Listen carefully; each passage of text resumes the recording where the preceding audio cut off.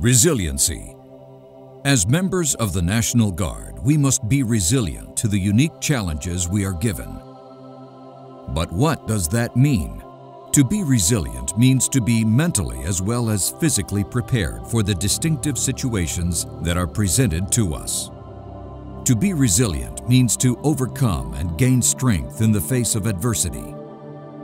Resilience is what makes us stronger.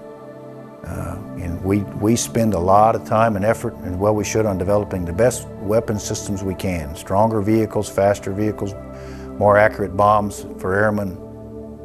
But it all comes down to, there's got to be a soldier or airman that, that operates that equipment or pulls that trigger or you know, does what we do well, we probably ought to spend as much time as possible strengthening them.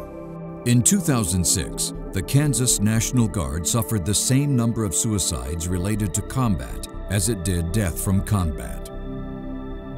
Major General Tod Bunting, Adjutant General of Kansas, and State of Kansas Command Sergeant Major Steve Rodina saw a clear need to prevent post-traumatic stress caused by combat tours and disaster missions.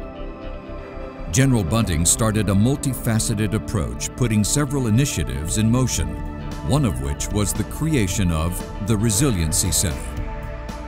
The focus of the center is to develop curricula that focuses on building resiliency for Guard members and their families.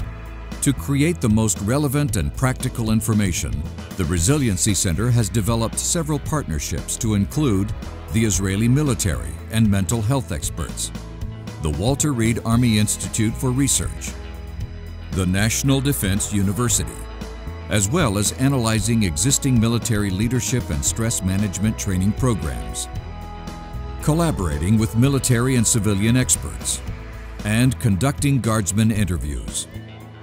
Through these partnerships and the expertise of its development team, the Resiliency Center has, to date, developed two comprehensive Guard-centric programs, Flash Forward, and Life Ties.